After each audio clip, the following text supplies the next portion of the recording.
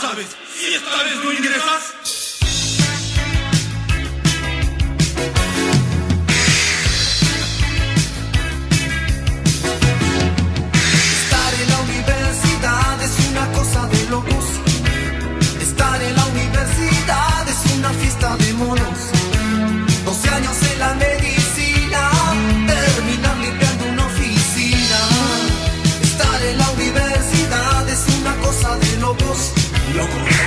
la universidad. Es una fiesta de monos.